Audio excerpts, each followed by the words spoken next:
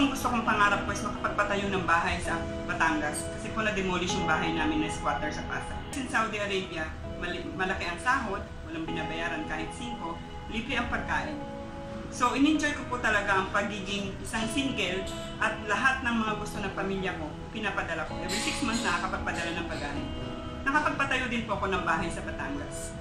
Nawala din po yung utang namin na matagal na panahon na 5-6 ng mga magulang ko.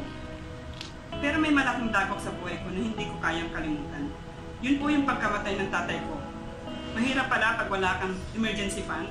Mahirap pala pag wala kang iuwi para sa pamilya mo. Dumating na naman po ang panibagong dagok sa akin. Yun po yung major operation na nagkaroon ng ovarian cyst si nanay. So nung nagkaroon po ng ganong klaseng trahedya, inisip ko po, kailangan kong umuwi whatever happened. Gumamit ako ng credit card, kinaskas ko siya, so tatlong credit card ko max out.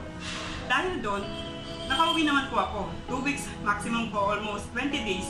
Sabi ko sa sarili ko, okay lang yan. Pera lang yan, kayang-kaya ko yung bayaran. Anyways, I'm working in the hospital.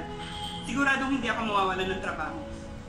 After a week, pagbalik ko sa Saudi, habang nagtatrabaho ako, bigla ako pinatawag ng HR at ang sabi sa akin, this is your last day.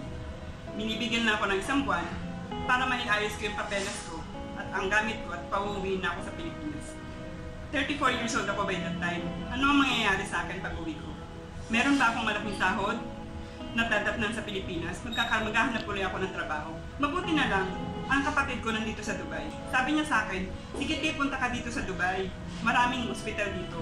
Pwedeng pwede kang magkaroon ng trabaho. Napakagandang opportunity, doon ko po nakilala si IMG. IMG, ito po ang nagpabago ng aking buhay.